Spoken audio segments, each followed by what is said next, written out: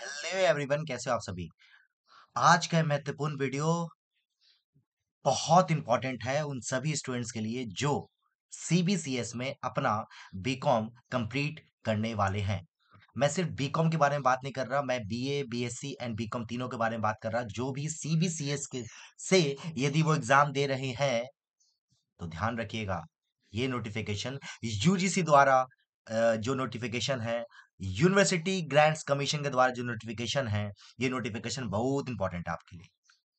Sir, क्या notification है?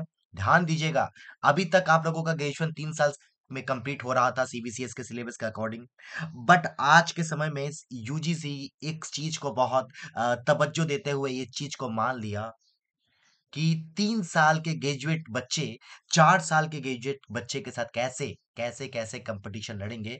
इसके कारण ही ये नोटिफिकेशन जारी किया गया। आप देख पा रहे हो नोटिफिकेशन ये पब्लिक नोटिस है। नोटिस में ये लिखा गया है कि जितने भी तीन साल के ग्रेजुएशन कर रहे हो ये बच्चे हैं, उनको, उनके लिए उनको सीसीएफ में कन्वर्ट करना होगा। फोर ईयर में ग्रेजुएशन कंप्लीट करना होगा।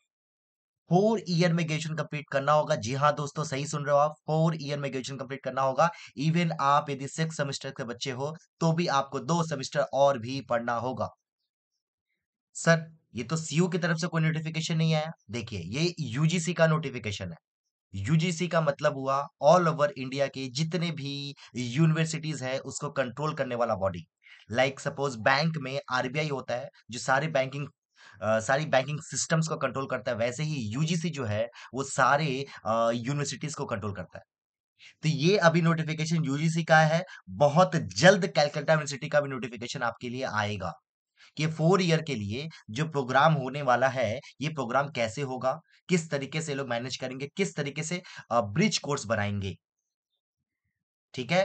तो गेट रेडी फॉर देखिए यहाँ पे दिख रहा ना ब्रिज कोर्सेज ब्रिज कोर्सेज समझ रहे हो आप? ये जो ब्रिज कोर्सेज दिख रहा है ना, ये ब्रिज कोर्सेज का मतलब हुआ कि अभी आपको थ्री ईयर से लेकर फोर ईयर के बीच में इसको फिल करने के लिए एक अलग टाइप का कुछ प्रोग्राम रेडी करना पड़ेगा यूनिवर्सिटीज को। अब वो प्रोग्राम क्या रेडी होगा, ये सीओ के नोटिफिकेशन के बाद पता चलेगा। ठीक है? तब तक के लिए बने रहिए, हमारे चैनल को सब्सक्राइब करके रखिए। इस तरीके के बहुत सारे चेंजेस आपके एजुकेशन सिस्टम में आ रहे हैं लगातार आ रहे आ रहे हैं एनईपी 2020 के बाद।